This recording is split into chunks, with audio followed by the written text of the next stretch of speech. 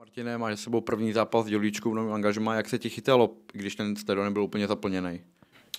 Tak chytalo se mi dobře. Eh, Byl jsem samozřejmě trošku nervózní, protože, protože jsem vlastně na rok z toho vypadl, z toho nějakého zápasu kolotoče, ale, ale naštěstí eh, jsem to zvládnul a, a chytalo se mi dobře.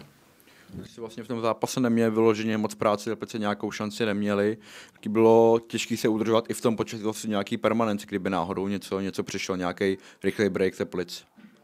Tak eh, myslím si, že jsem byl dobře nastavený v hlavě, že jsem se soustředil eh, na, to, na, tohle, na ten okamžik eh, celý 90 minut. Byly tam nějaký, nějaký vys, eh, vysoký balony, který jsem pozbíral a pomohl týmu tímhle, takže, takže byl jsem připravený v hlavě 90 minut na tohle.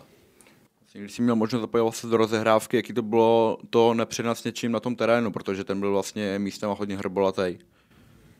Tak eh, byl to těžší terén, ale, ale dalo se s tím poradit, eh, rozhodoval jsem se správně, myslím si, a, a, a nějaký, nějaký věci pod tlakem eh, tam nebyly, takže myslím si, že jsme to s obranou zvládli skvěle tenhle zápas.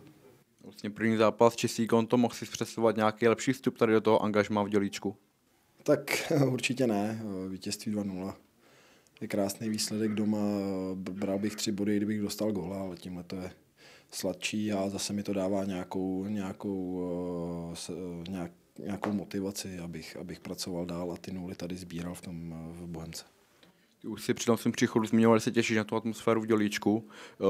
Vlastně, aby fanoušci viděli, chystal, chystal jsi někdy třeba ještě před lepší atmosférou, nebo tady to byl zatím nějaký strop?